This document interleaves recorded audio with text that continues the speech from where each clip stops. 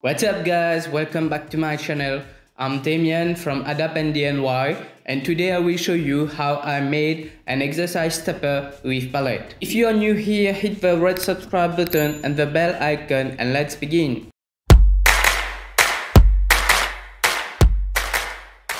So before we move to the fun part, let me show you how I designed the stepper using SketchUp. The idea is to use remaining material from a past project.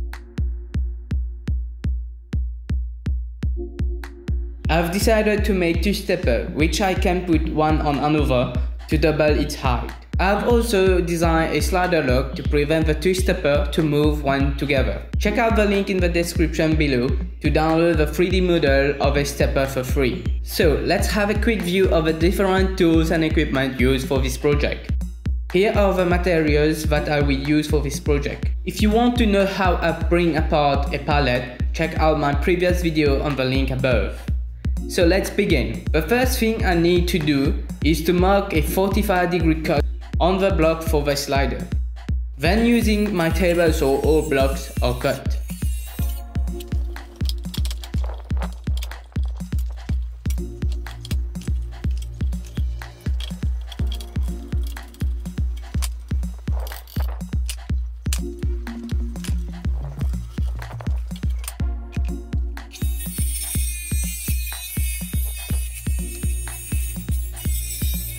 Once all blocks are ready, I can now fix it to the top bolt.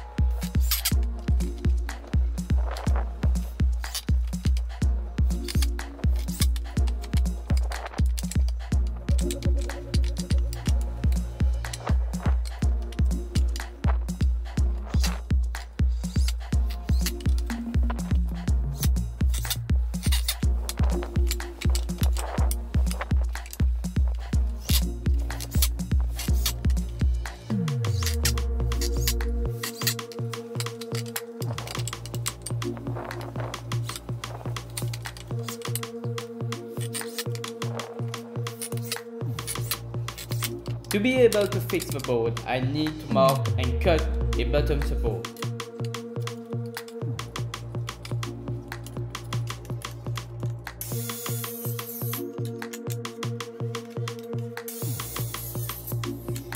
Once cut, I can now assemble the stepper.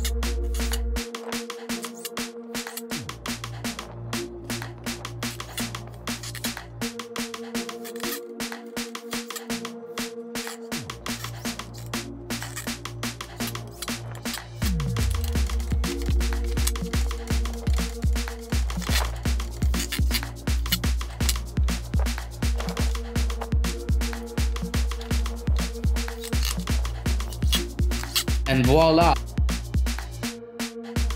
I've set my circular saw at 45 degree and make a starter cut on my board.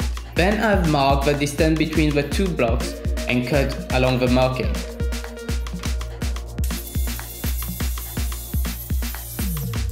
I need to make sure that the slider slides freely in the blocks.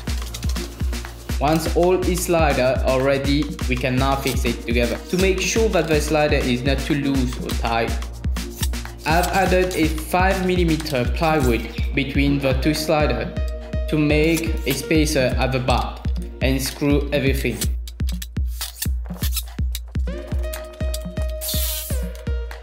Then I've used a Forstner bit to make a hole through the slider to act like a handle.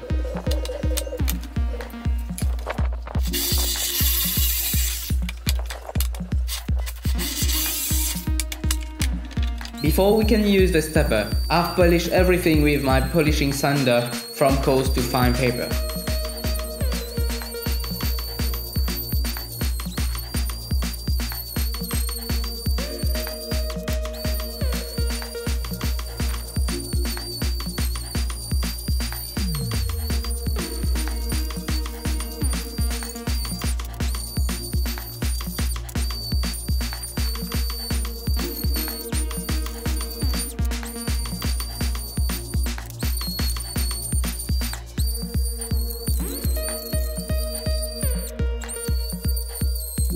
And yes, we are ready for testing.